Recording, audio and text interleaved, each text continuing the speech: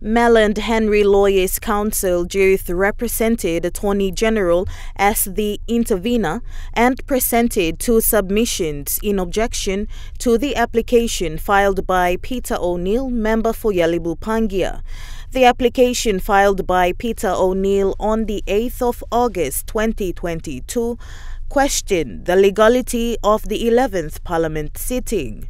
The three grounds on the submissions by Attorney General were on the Constitution, Section 18.1 jurisdiction, whether it has been properly invoked, then the application is incompetent, and the others being no questions raised and no facts pleaded. Attorney General Pila Niningi was pleased with his lawyer.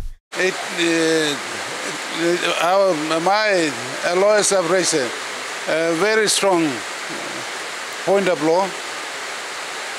Uh, uh, so uh, I believe that the judges have heard it and they, they received the judgment. So it should.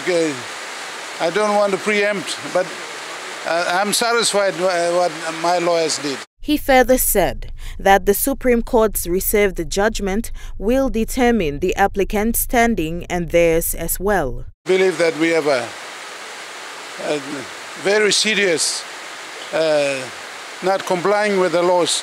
So our lawyers have raised this and uh, allow the court to, uh, uh Supreme Court will decide and shortly we will know.